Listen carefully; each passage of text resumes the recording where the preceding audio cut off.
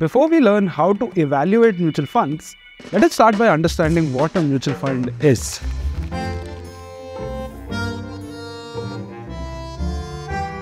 A mutual fund is simply a pool of different investments made by retail investors like me and you.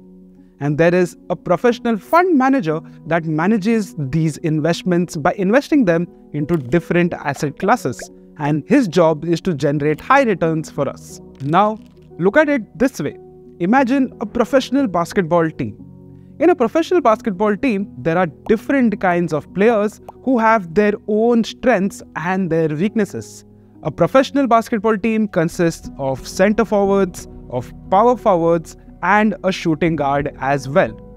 Similarly, a mutual fund also deploys its money into different kinds of stocks or different kinds of assets so that you get the best of all stocks not just one single stock. And the coach of that professional basketball team is exactly like a fund manager of the mutual fund. The coach has to decide which player is perfect for the match. Similarly, the fund manager has to decide which investment or which asset class is perfect for that market condition. Now, this is all about how a mutual fund works and what a mutual fund is. But now, let us see how you can create and evaluate your own mutual fund portfolio in three simple steps. The first step is to know your risk tolerance levels. And to understand your risk tolerance levels, you will have to answer three simple questions.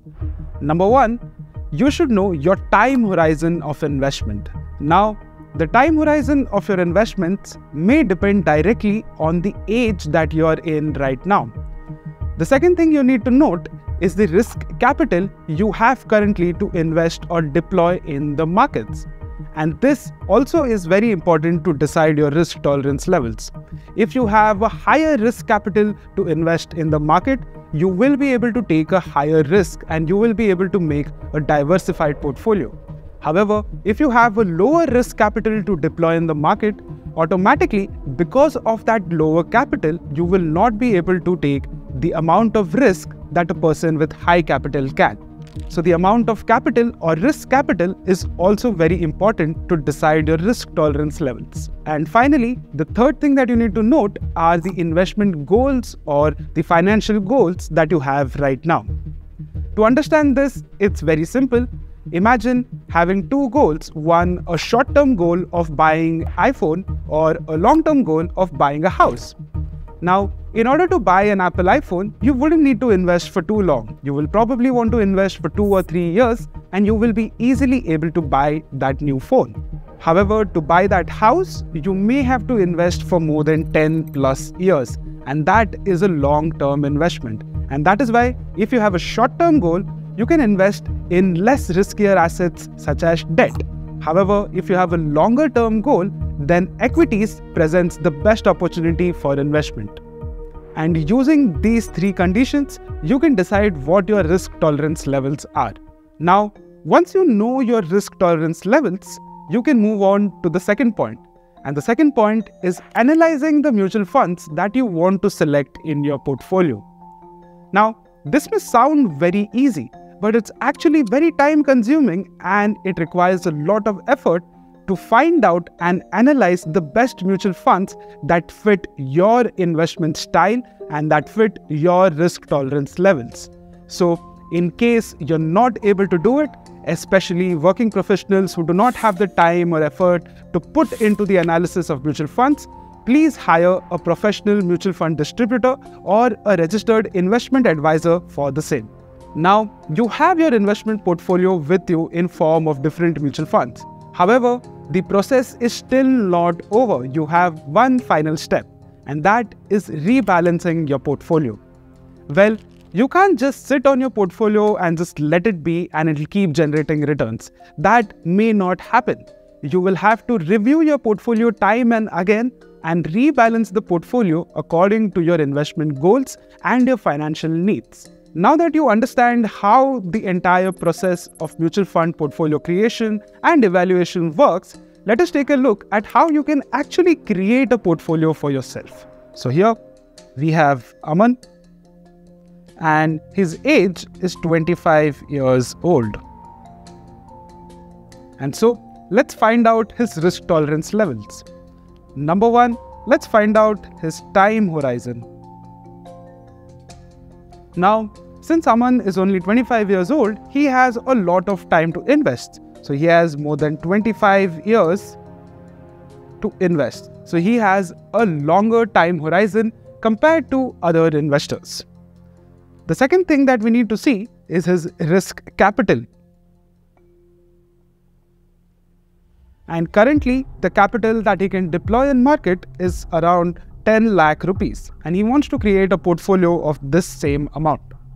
And finally, we need to check his investment goals. Since he is a very young person right now, he does not have a fixed investment goal, but he just wants to create wealth in the long term. Now, looking at all of these, we can judge that Aman's risk levels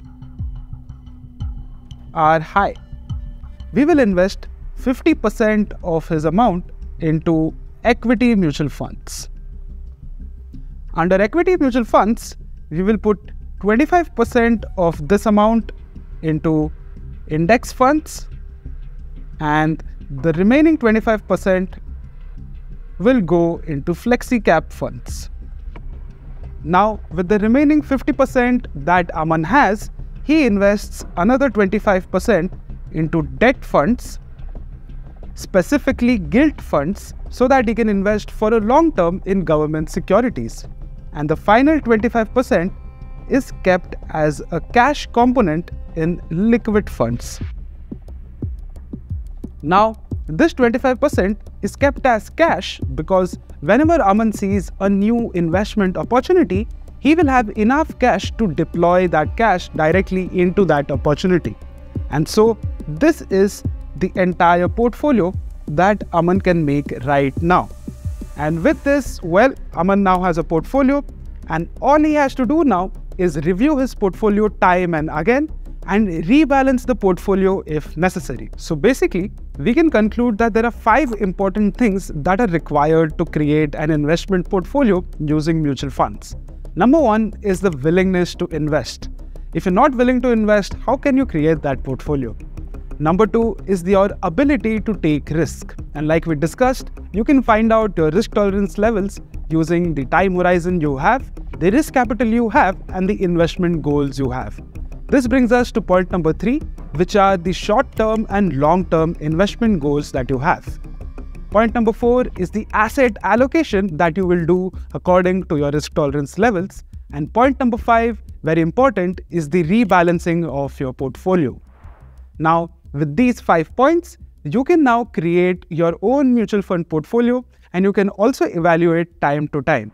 Mutual fund investments are subject to market risks. Read all scheme related documents carefully.